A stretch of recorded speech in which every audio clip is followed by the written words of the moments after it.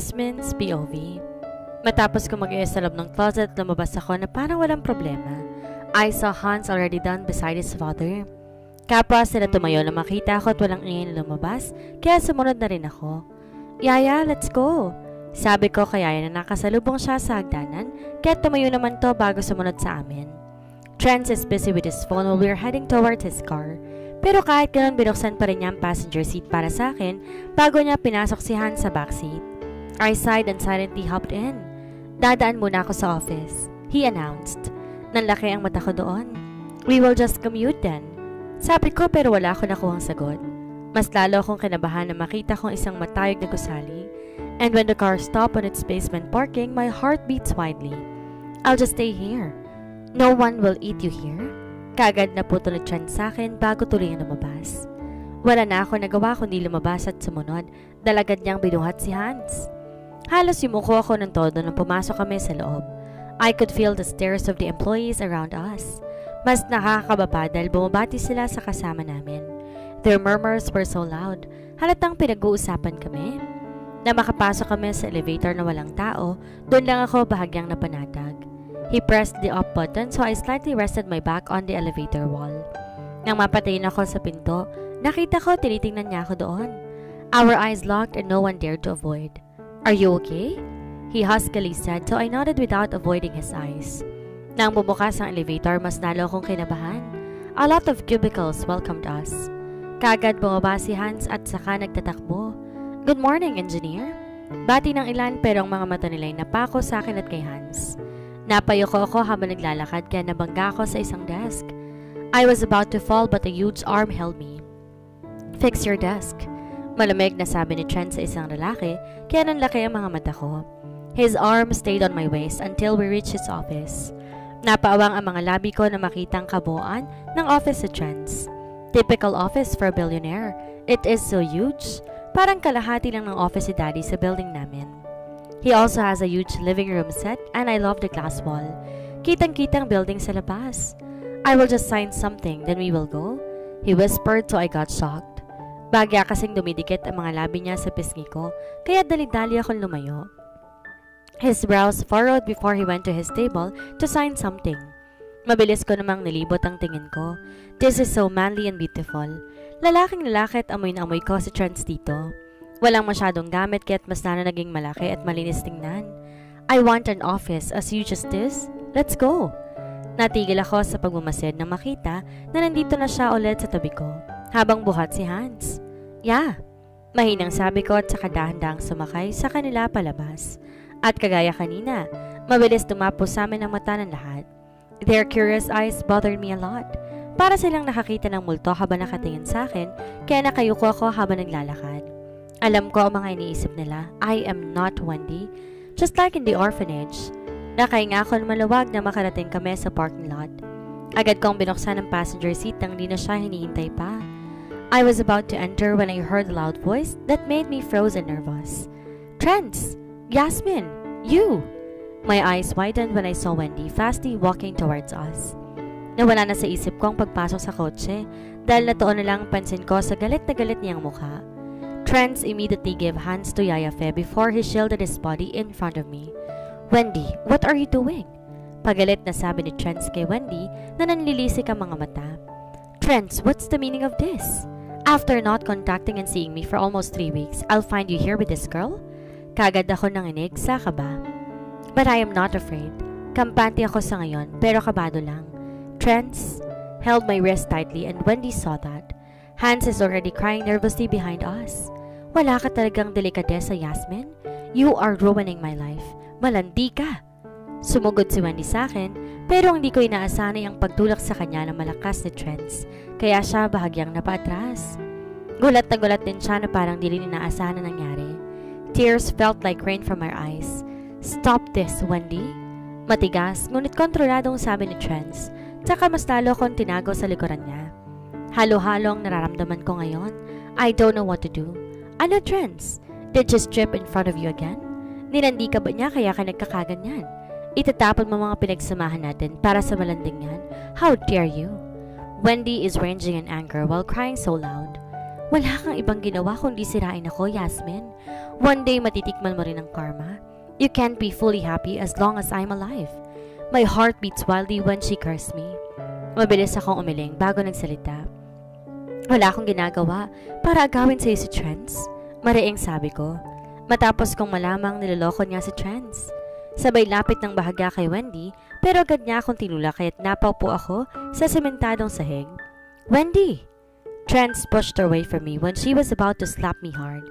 Trents, I am your fiancé, Wendy shouted.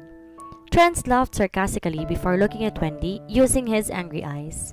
Not when you've been cheating behind me for almost five years, he said. So Wendy and my eyes widened. He knew?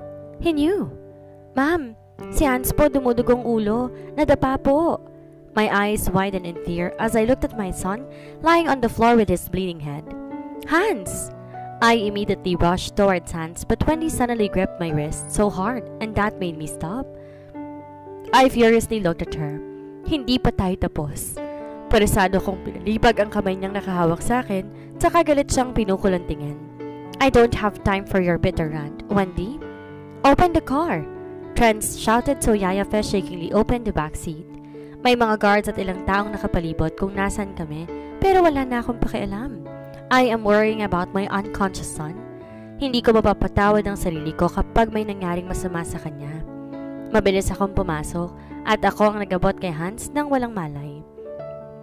Nanginginig kong tinignan na sugat niya sa gilid ng noo. I cried so hard when I felt that he is a little cold now. Go? Trents, go!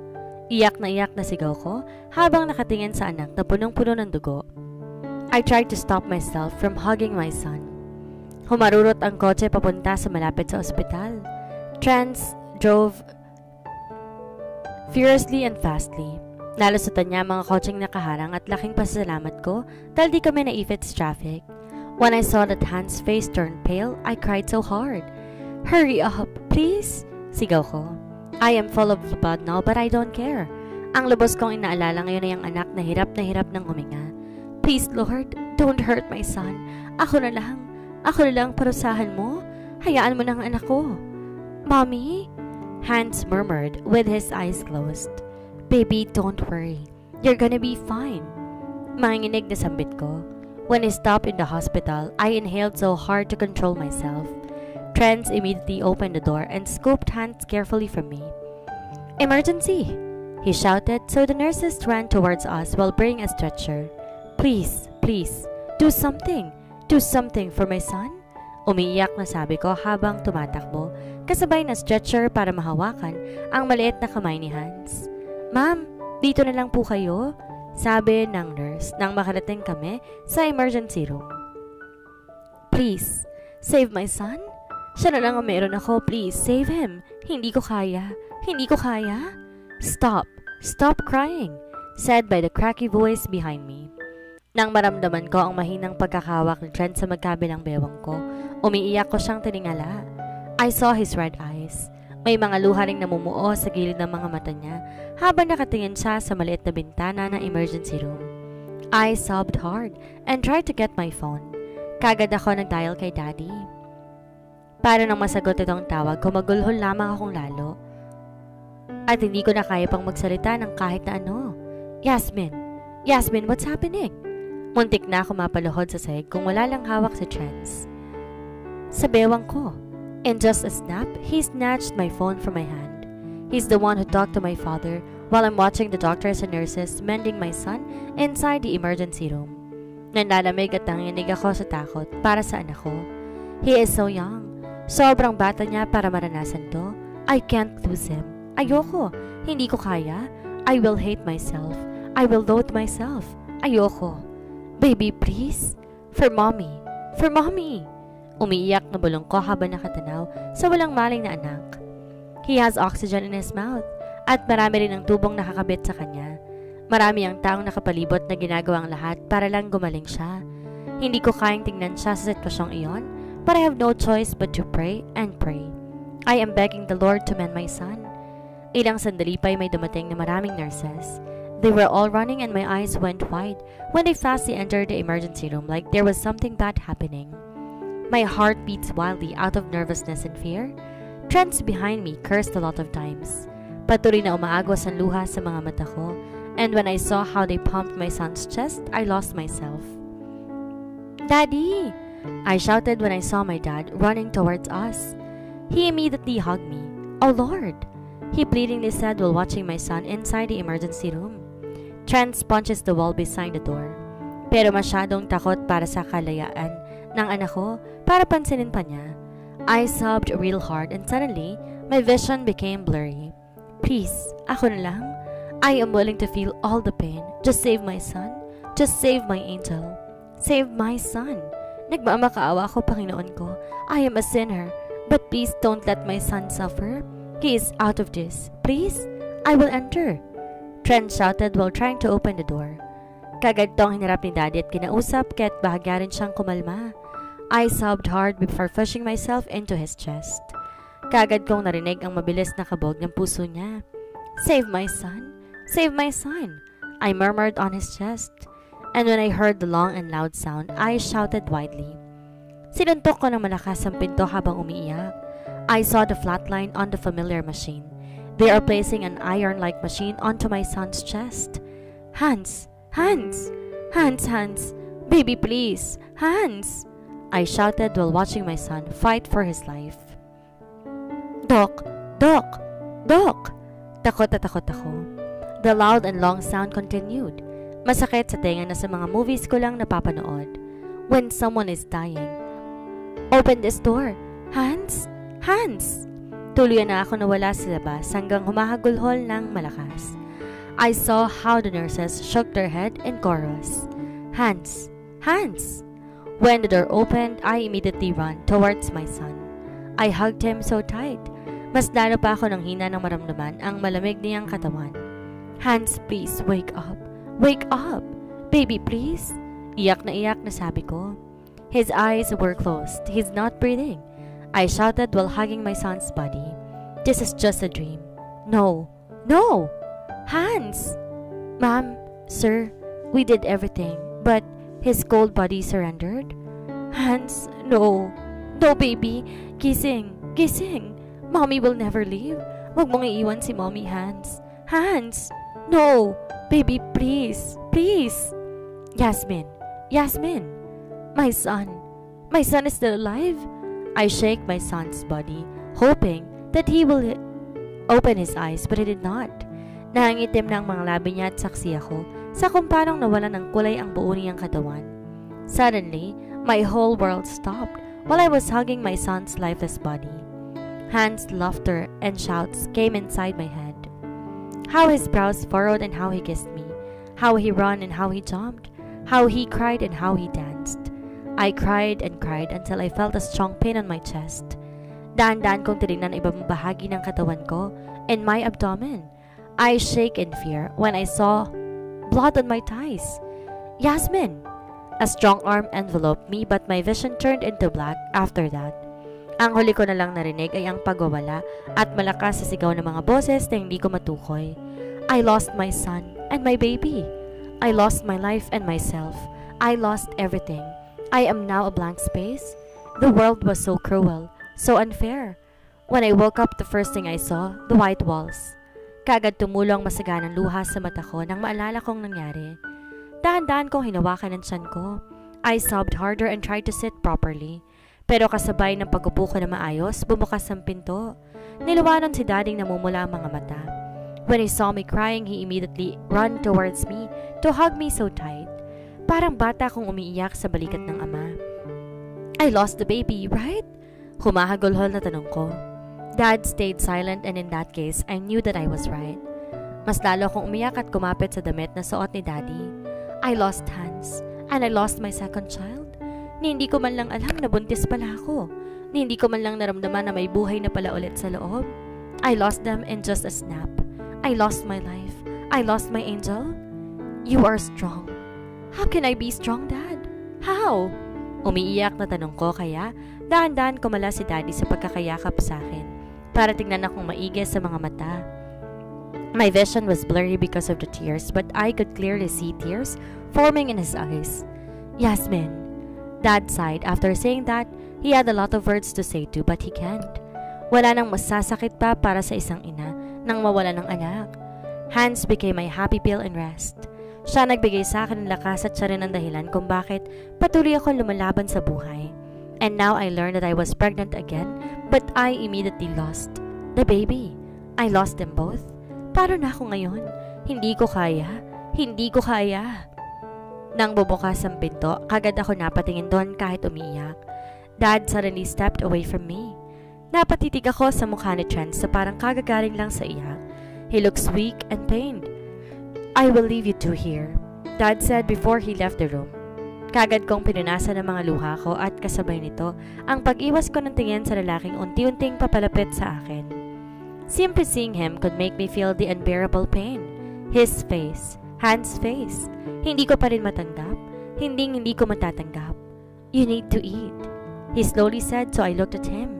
Bahagyang nanlisik ang mata ko kahit na punong-puno to ng mga luha. Stop acting like everything's fine when it's not. Humagulhol na sabi ko kahit ba rin siyang pumikit at naparunok. Nang maimulat ni Trent ang mga mata niya, nakita ko ang mga luhang nag-aambang tumulo. I'm also breaking because of what happened. Hans is gone now. Wala na. You don't need to keep on seeing me. I exclaimed and his jaw clenched. Listen. No. I keep on shouting while crying so hard. Biglang si Chance napasabunot sa buhok niya, kaya't napasuntok na malakas sa pader na nagbigay sa akin ng sakit, takot at kaba. His fist immediately got wounded because of that punch. Hans is my son and you were pregnant with my child too. I lost them both, I exclaimed. Biglang bumilis ang paghinga niya.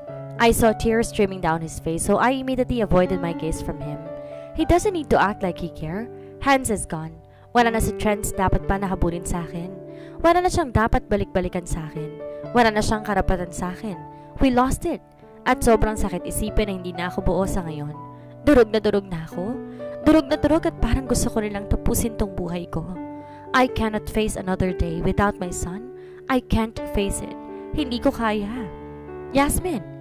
Nanginig ang buo kong katawan sa sigaw ni Trent. I looked straight in his eyes despite my broken feeling. Peace. Hans is gone. Wala na. Wala nang hahabulin pa sa akin. Every time we see each other, I've always thinking about my sins. Ang pagkakamali na alam pong dahilan para maranasan ko tong lahat. I am a sinner when I am with you. Please just leave me. Wala na akong hinahawakan pang pamamayari mo. Please, do me a favor. Hayaan mo na ako. I am hurting. Please, maawa ka sa akin. Hagulhol na pagmamakaawa ko kaya natigilan si Trent at di na nakapagsalita pa. I can't keep on seeing him. Hindi pwede. Dahil kapag paulit-ulit ko siyang makikita, siguradong mumultuhin ako ng isip ko. Maybe Wendy is right. Karma ko na tong mga to dahil sa dami ng kasalanan ko. Sa dami ng kasalanan na ginawa ko, hindi ko deserve na maging masaya. Please, let me be in peace. I lost my son. I don't want to lose my sanity. Umiiyak na sabi ko at ilang sandali lang, dali-dali siyang tumalikod at saka tuloy-tuloy na lumabas ng kwarto. I cried even more after that. I love him, but I can't let him be with me. Hindi pwede. Ito na ang pagkakataon para itamang lahat ng mga nagawa ko. God is giving me lessons for me to learn. Binabawi ng lahat ng meron ako. Tinamaan na ako ng karma. I lost my son and my second child. Lahat yon gawa sa mali. Passion and heat but they were my angels. I am the sinner here. Sa gitna ng pag-iyak ko, pumasok si daddy tahimik lang. He did not ask anything. Dinalahan niya lang ako at saka niyakap na mahigpit. I cried in my dad's chest until I fell asleep. I did not see a tear against after that. That was my downfall. Hindi ko alam kung paano ko nakayang gumising na wala ng anak ko. I cannot hear his giggles and laughter anymore. I cannot kiss and hug him. Hindi ko na siya mapapanood pa na maglaro. Wala na akong bubuhatin at lalambingin sa tuwing napapagod ako. Wala na akong kukunan na lakas sa araw-araw. I lost him. I lost them. I am so broken but I still managed to go through. Pero hindi na kagaya ng dati. Now I am a living dead. I died with my children. I died with them. Dinala ko ang labinihan sa Iloilo. Chance did not show his face up again. But maybe dad and him still has a connection but I don't care. Tapos na ako sa lahat ng yon. Tapos na ako sa pagmamahal na hindi ko naman dapat naramdaman para sa kanya. I face my days like a normal woman. but deep inside I was dying. I was slowly losing myself. I am close to giving up. One month after tragedy, I've read something. Hindi ko alam ang mararamdaman ko, but I don't need to feel anything for it. I need to be contented. Kailangan kong lumayo sa mga taong naging dahilan ng lahat ng nangyari sa akin.